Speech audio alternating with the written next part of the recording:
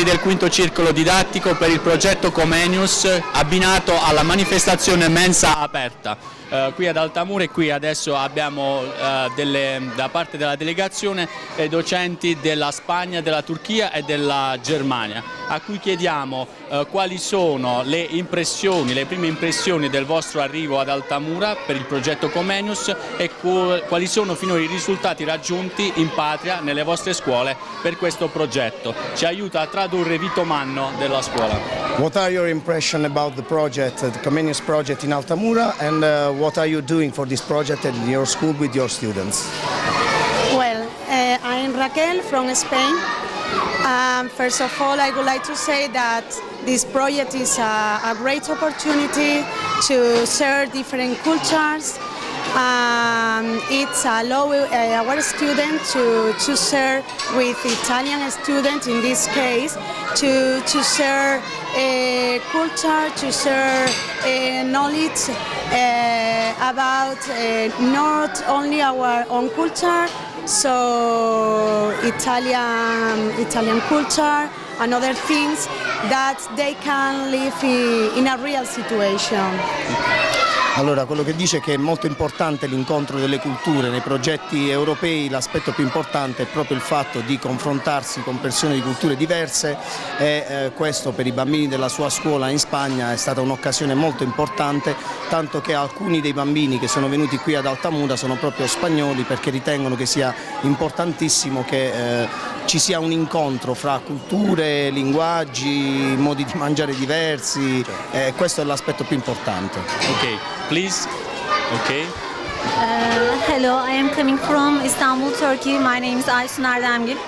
Um, I want to talk uh, about your uh, preparations here because I really, uh, uh, how can I say, I don't know, but uh, I really shocked. it's a big organization. I don't know we will do the same at our school. I think it's a successful job. Um, uh, it's well prepared and uh, I think you are really uh, experienced. Uh, that's why you are so successful in your school. Um, that's all. That's all. Thank you. Thank you. Ok, la collega Aisun dalla Turchia ha detto che è rimasta molto impressionata dall'organizzazione eh, e dall'accoglienza che ha ricevuto ad Altamura, eh, per lei è stato un, quasi uno shock eh, ed è preoccupata perché fra un po' toccherà alla Turchia ospitare il, il progetto Comenius, quindi si, si, sente già in difficoltà per quanto ad Altamura è stato, è stato fatto. Come la collega spagnola che ha parlato prima è molto soddisfatta da questa iniziativa europea e ritiene che sia fondamentale che culture diverse si possano incontrare in un ambiente come la scuola. Ok, please. Thank you. Thank you. My name is Celeste Hoffmann and I'm from Germany. I am very, very happy to be in a partnership with Francesco de Assisi, the school, because they do a lot to promote the Comenius project, which is a lovely project between countries in, within Europe.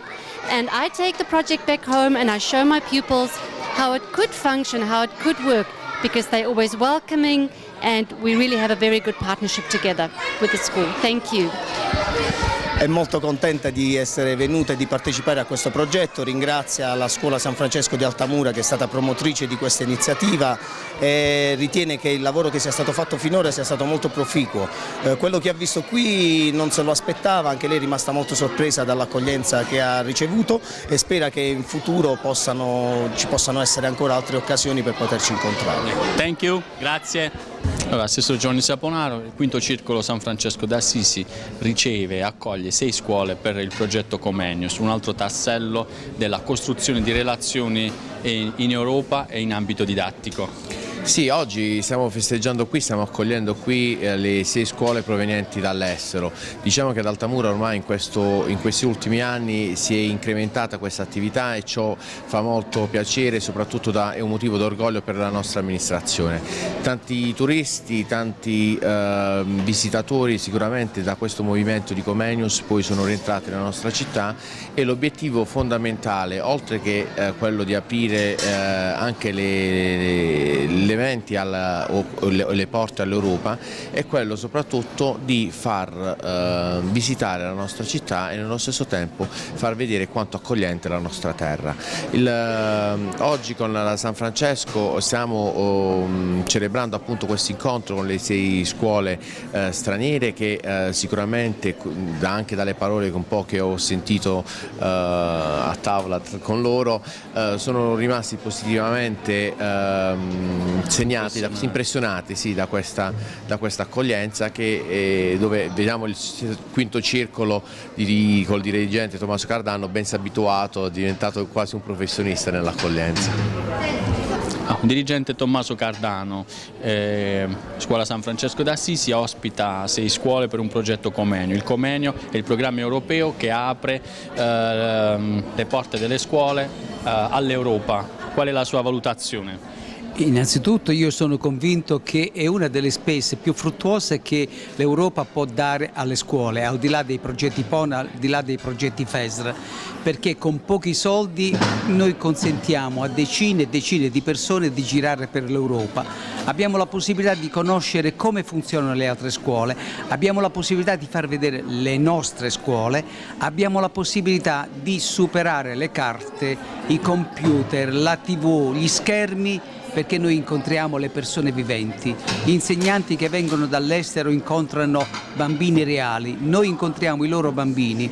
Io credo che sia una bellissima invenzione quello del progetto Comenio che riesce a far incontrare le persone, credo che sia forse il segreto su cui bisogna raccontare sempre di più nei prossimi anni, far incontrare le persone, non più soltanto l'Europa delle merci, l'Europa dei soldi, ma l'Europa dei bambini, l'Europa degli educatori, l'Europa dei valori, perché l'Europa è una parola, se i bambini non la, non la mettono insieme ad un concetto, la festa, l'allegria, la costruzione, Molti di questi nostri bambini, circa 300 che aderiscono al progetto, sono bambini che da mesi lavorano insieme alle insegnanti e sono molti di questi bambini che stanno producendo delle cose egregie, stasera lo vedremo anche nel mm, collegio dei docenti, perché solo così, facendo con allegria, facendo con attività, facendo con amore, l'incontro con le persone, noi possiamo dire che l'Europa è vera ed è quella degli uomini e non più soltanto quella delle merci, dei camion, dei soldi o soltanto dei grandi uomini politici. Io ritengo che Comenio sia una bellissima invenzione perché Comenio è il nome di uno dei più grandi educatori che noi abbiamo avuto nel Rinascimento. Anna Maria Colafelice, insegnante del quinto circolo San Francesco d'Assisi e coordinatrice di questo progetto Comenius per l'Italia. Ce lo vuole presentare?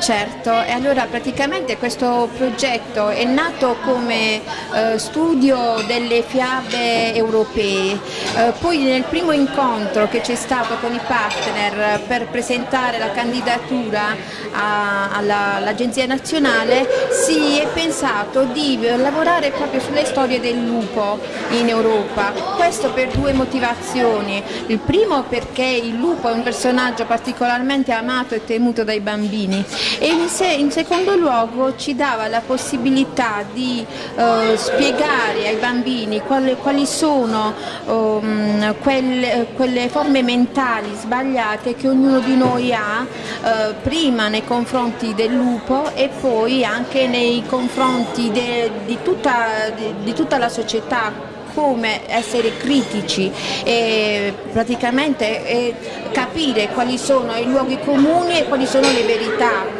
Il, ci lavorano, siamo sette nazioni che hanno avuto i finanziamenti, quindi l'Italia, la Francia, la Spagna, il, il Regno Unito, eh, la Germania, la Polonia, la Turchia, però ci sono altre tre nazioni che lavorano con noi perché il progetto si è costituito anche sui twinning eh, dal quale che è la piattaforma praticamente dove nascono i progetti europei sui twinning dove abbiamo avuto un, un um, certificato un, di qualità del progetto e questo è il nostro orgoglio. Le tre nazioni sono il Portogallo, la Romania e la Grecia che pur non usufruendo delle mobilità eh, tuttavia realizzano le attività insieme a noi. Eh, I prodotti, vi parlo dei prodotti così eh, che realizzeremo. In primo luogo eh, abbiamo realizzato il logo ehm, e l'Italia ha vinto, il logo è quello proposto dall'Italia e ne siamo fieri.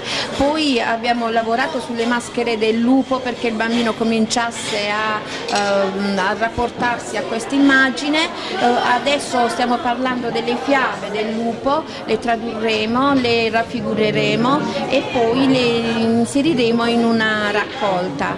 Intanto il lupo è diventato anche una mascotte e gira, girerà per l'Europa, si arricchirà, la, la, il suo, arricchirà, il suo, bagaglio dei vari costumi eh, che, dei posti dove visiterà, eh, che visiterà e mh, mm, arriverà un giorno anche in Italia il prossimo anno scolastico. Va bene, grazie. Allora, siamo con il professor Francesco Gnisci Bruno che è molto presente in questi giorni ad Altamura, abbiamo imparato a conoscerlo bene e lui ha, ci sta distillando tutta la sua sapienza, la sua esperienza mondiale e internazionale nel campo della pace, nel campo dell'alimentazione e dell'educazione. Oggi questa giornata speciale con i bambini del quinto circolo San Francesco d'Assisi per la mensa aperta. Qual è la sua impressione e che messaggio vuole lanciare dopo questa giornata? Vi devo dire che per me prego, prego. è una sorpresa molto molto gradevole perché vedo che in questa scuola ci sono le basi fondamentali per dare ai bambini le input adeguati perché i bambini possano sviluppare la sua sensibilità la sua ricchezza di amore e la sua ricchezza di socialità. Io penso che in una Europa che in questo momento viene isolata per le diversità tremendi che ci sono dal punto di vista socio-economico, anche culturale e storico, è molto importante capire di stabilire quali sono le basi universali per portare avanti un discorso nella Unione Europea che sia un discorso centrato nella capacità degli esseri umani di poter valutare l'importanza della convivenza. La convivenza è centrata in che ci siano situazioni minimi per favorire il processo di sviluppo dell'umano. Il sviluppo umano è centrato in acquistare quelli che sono gli attributi dell'umanità, che significa la sensibilità, il rispetto, la comprensione, la tolleranza, la capacità della libertà fondamentalmente, ma una libertà centrata non in portare avanti il cannibalismo sociale, ma una libertà centrata in portare avanti quello che è la sociosolidarietà, una libertà centrata nel sviluppo pieno dell'essere umano, nell'autonomia dell'essere umano al servizio della sua vita. Per questo il discorso dei bambini è un discorso universale, in questa scuola si può vedere